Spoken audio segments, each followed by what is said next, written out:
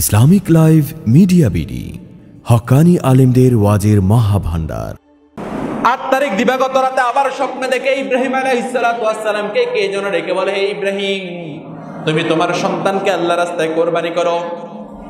প্রথম দিন দেখেছে, দ্বিতীয় দিন আবার একই স্বপ্ন দেখেছে, তোমার সন্তানকে তুমি আল্লাহ রাস্তায় কোরবানি করো। যখন দুই দিন লাগা, দুই দিন লাগাতার, দুই রাত লাগাতার ইব্রাহিম আলাইহিস সালাম স্বপ্নে দেখি আকাশ থেকে বা তাকে কোনো একজন ডেকে বলে কিংবা স্বপ্নের মধ্যে তাকে লোক বলে, তোমার সন্তানকে তুমি আল্লাহ রাস্তায় কোরবানি করে দাও।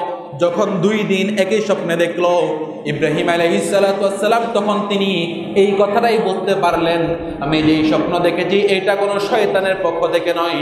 আমি যেই স্বপ্ন দেখেছি, এইটা আমার মনের কোনো ওয়াসওয়াসা নয়।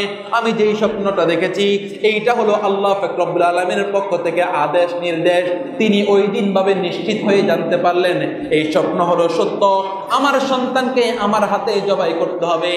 এই জন্য ওই দিনটাকেই বলা হয় ইয়াউমে আরাফা। আমাদের সমাজে আমরা যে আরাফার দিন বলে, আরাফার দিনকে আরাফার দিন কেন বলা হয়? ওই দিন ইব্রাহিম আলহিসাম জানতে পেরেছে, এই স্বপ্নটা হলো আল্লাহর পক্ষ থেকে, এটাই হলো সত্য। আমার সন্তানকে জবাই করতে হবে। এই জন্য জিলহদ মাসের নয় তারিখকে আরাফার দিন বলা হয়।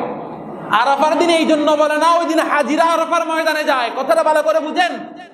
আমাদের সমাজে এটা নিয়ে বিভ্রান্ত শুরু হয়ে গেছে। বলে আরাফার দিন রোজা রাখার কথা যেটা বলে অনেকে বলে আরাফার দিন সৌদি সৌদি আরবে, আরাফার দিন হাজিরা আরাফার ময়দানে যায়। এই জন্য আরাফার দিন বলে সৌদি আরবের নয় তারিখ, আমাদের বাংলাদেশে আট তারিখ। এই জন্য অনেকে বলে আরাফার রোজা আট তারিখে রাখতে হয়। তাদের কথাটা ভুল। আরাফার রোজা আরাফার দিন রাখতে হয়। ওটা হলো নয় তারিখ। সৌদি আরবে নয় তারিখ আরাফার দিন, এই জন্য তারা আরাফার মাঠে যায়।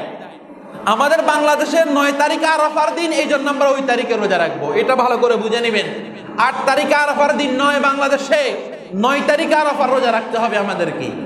নিত্য নতুন ওয়াজ, কেরাত ও ইসলামী সংগীত পেতে আমাদের চ্যানেলটি সাবস্ক্রাইব করে সাথে থাকুন।